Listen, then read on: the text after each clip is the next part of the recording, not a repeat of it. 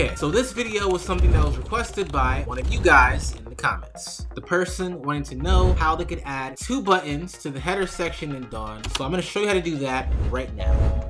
All right, let me switch over to my Shopify theme right here on my test Shopify store, Appleish wishlist. So you can see I'm inside of the Shopify store admin. I went to online store and now I'm in themes. Now taking a look at all the themes I have here, I have a fresh install of Dawn version 13 that we're gonna use for this. So you're just gonna click customize and I have a whole bunch of different sections here. You can see I have a section called image banner right here and it has two buttons in it. Let's look at my settings to see how I got that set up. So I click on image banner and if I scroll down, there should be an option for buttons. Hold on. Here we go. It's actually a block inside the section. So for sections inside of Dawn, any Shopify theme, you have the main section right here, which is image banner in this case. And then each section might have these things called blocks. So you can see I have a heading block, I have a little paragraph block, and then I have a block called buttons. So when you're doing this, you're gonna wanna click where it says add block and add the block called buttons. It's grayed out for me because it's set to have a limit of three blocks, but for you, when you're clicking on it, just select the buttons. And then it literally gives you two options to set up a button. First button label, first button link, second button label, second button link. Now let's see if there are any other sections inside of Dawn that give us the option to set up two buttons.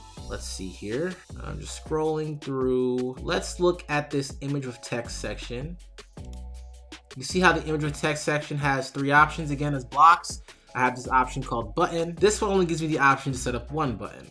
But let me look at the other section on here as well that has buttons in it. Let us look at the rich text section. You see it has a buttons block as well. We're gonna click on it and look at that.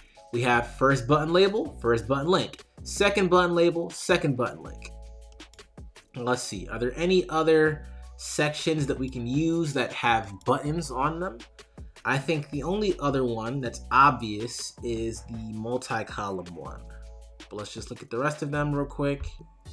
Yeah, I think the only other one is the multi-column one and the multi-row one. And multi-row is not really what we want to use here. So let's look at multi-column real quick. Let us see, let us see. Now multi-column has a button option at the section level. So you see below, we have a bunch of blocks called columns. We click into a column. We have an option to set up a link on the column, but we don't have the option to create a button. But if you look at the main section for the multi-column by clicking on multi-column, you get the option button label, button link. So you can set a button on multi-column, but multi-column limits you to only being able to select one button at the section level. So the reason I took us through all that effort was to figure out which sections in Dawn allow us to set up two buttons without having to do any, you know, complex theme customization or adding new code or anything like that. And from what I can see, the only two sections that let you do that are the image banner section and the rich text section. So if you want to set up a section with two buttons on your Shopify store using the Dawn theme, similar to how I've done here, that is how you're going to do it. Hopefully you found it helpful. Hopefully you found this useful. If you have any other tutorials that you would like to see on the channel, let me know in the comments down below, as well as your thoughts on the video. Hope you enjoyed. Like and subscribe, and I will see you on the next one.